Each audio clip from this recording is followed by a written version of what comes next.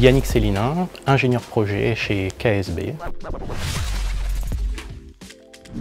Donc, euh, chez KSB, nous fabriquons des pompes hydrauliques centrifuges, de la robinetterie et nous proposons des prestations de services à nos clients pour de la maintenance, réparation euh, sur site et en atelier. Donc chez KSB, je reçois les appels d'offres de nos clients. Euh, nous analysons ces cahiers des charges, nous proposons les solutions techniques les plus appropriées en relation avec nos services techniques euh, en Allemagne. Et nous allons défendre ces solutions auprès des clients et suivre les projets lorsque nous, nous remportons les affaires.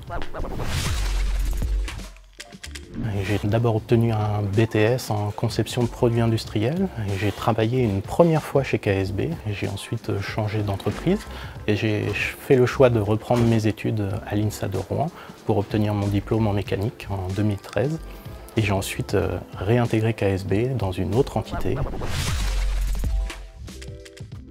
On sait que le niveau d'enseignement est élevé, euh, donc c'est quelque chose qui est très apprécié dans notre entreprise. Et avec l'INSA de Rouen, il y a une ouverture euh, à l'international très forte.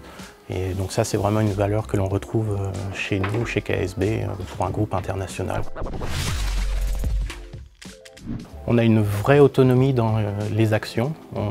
On, a le temps d'analyser les cahiers des charges, de définir la solution avec les clients et avec nos collègues d'usine.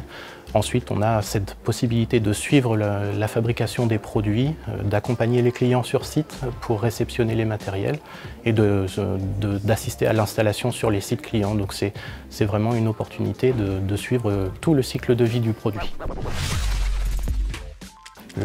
Le, fait de, travailler dans un groupe international, ça donne vraiment beaucoup de possibilités.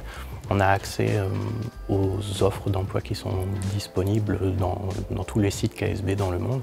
Donc en termes de, perspective, on peut très bien envisager euh, de, continuer, sa carrière dans la partie plutôt technique ou dans la partie plutôt commerciale ou euh, dans les bureaux d'études, les bureaux de calcul. C'est vraiment très très ouvert comme perspective.